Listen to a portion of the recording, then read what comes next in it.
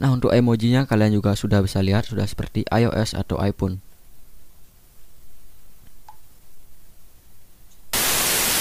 Halo what's up guys? Kembali lagi di channel Kono X Sakor Oke sesuai judul di video kali ini saya kembali lagi membagikan aplikasi WhatsApp yang kedua atau kalian tidak usah atau tidak perlu menghapus WhatsApp utama kalian.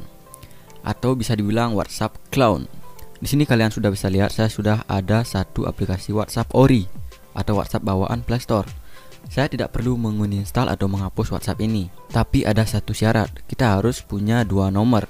Satu untuk WhatsApp orinya dan satu untuk WhatsApp yang mau kita pasang ini. Karena kalian tahu sendiri, dua WhatsApp tidak bisa menggunakan satu nomor.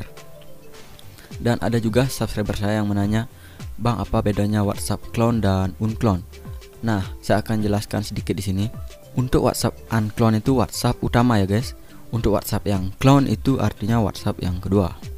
Oke, seperti apa penampakan WhatsAppnya? Tanpa basa-basi, langsung saja kita ke tutorial pemasangannya. Check this out. Grupo.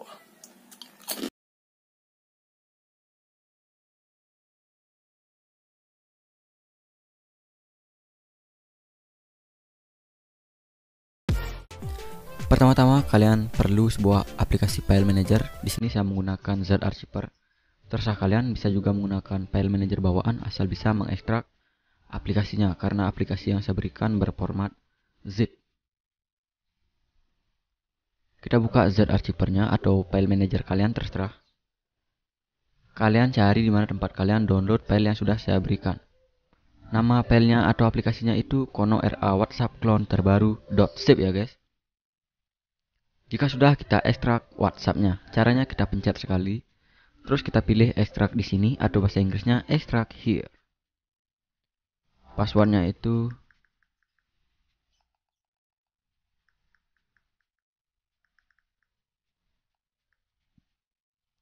Passwordnya kayak gitu ya guys, jagung bakar. Saya zoom lagi, biar kalian semua jelas. Jika sudah kita buka aplikasinya, dan di sini ada dua tema, yaitu tema gelap dan tema putih. Jika kalian pengen yang putih, kalian ekstrak yang putih. Jika kalian pengen yang gelap atau dark, kalian ekstrak yang dark. Di sini saya akan pakai yang putih. Jadi saya ekstrak yang light. Jika kalian sudah ekstrak temanya, kita kembali pasang aplikasi WhatsAppnya. Cara pasangnya seperti pasang aplikasi biasa.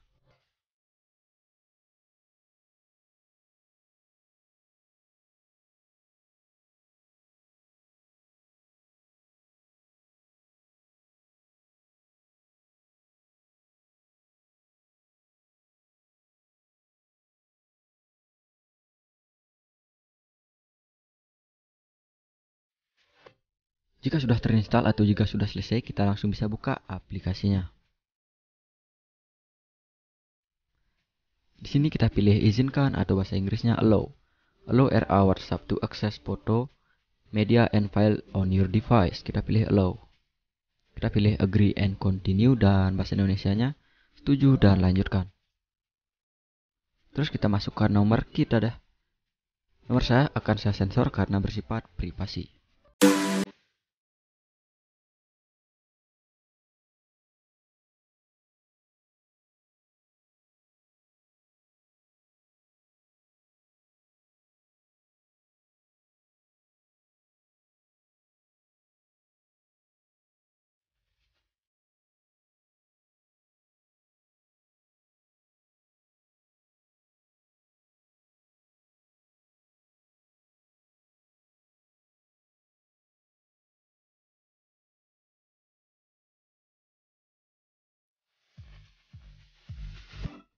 Di sini jika ada chat atau percakapan kalian yang penting, kalian pilih restore. Jika tidak ada yang penting, kalian bisa lewatkan atau skip. Saya akan skip. Di sini kalian tinggal kasih nama kalian sendiri.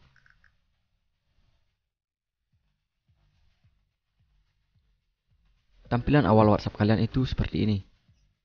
Kalian jangan bingung, emang seperti ini awal tampilannya. Cara memasang temanya, kalian pencet yang ada di pojok kanan atas ini yang saya tandai atau saya lingkarin. Kita pilih setting mode. Kita pilih tema atau bahasa Inggrisnya di sini themes.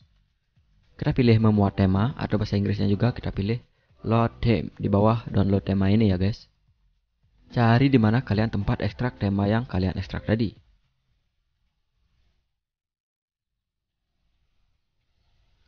Maka tampilan WhatsApp kalian sudah seperti iOS atau iPhone. Coba saya pakai chat ya guys.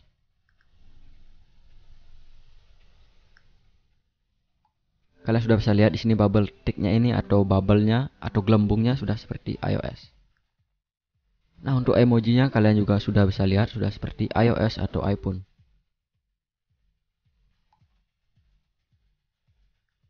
Sekali lagi saya lihat kepada kalian biar tidak ada di sini clickbait. Dan di sini saya akan ajarkan kepada kalian cara mengbackup percakapan kalian sebelum kalian masang tema ini biar tidak hilang. Caranya kalian pergi ke pojok kanan atas lagi. Kita pilih setting. Di sini kita pilih chat. Di sini ada yang namanya chat backup yang saya lingkarin ini guys. Please wait a moment. Nah, jika sudah seperti itu berarti chat kalian sudah di backup ya guys atau sudah dicadangkan. Nanti setelah kalian pasang WhatsApp kalian bisa memuat atau merestore ulang WhatsApp kalian. Cukup gitu aja guys, cukup gampang sekali. Nah untuk subscriber saya di sini saya mengingatkan, buat kalian yang WhatsApp kedua atau WhatsApp clone-nya yang belum kadaluarsa, kalian jangan diupdate karena itu masih yang terbaru. Kalian pakai aja itu. Ini aplikasi saya khusus bagikan buat subscriber saya yang WhatsAppnya sudah kadaluarsa atau tidak usah digunakan lagi guys.